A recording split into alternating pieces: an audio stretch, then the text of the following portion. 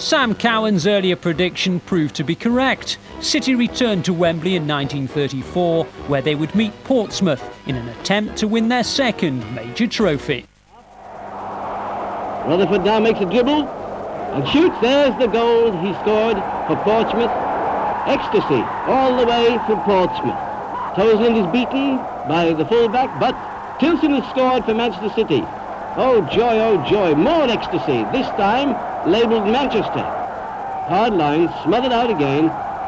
Look out, here's the vital goal scored by Tilson, which took the goal, took the cup to Manchester. Fred Tilson's two goals had fulfilled Sam Cowan's promise to the fans. At last, the cup was back with Manchester City.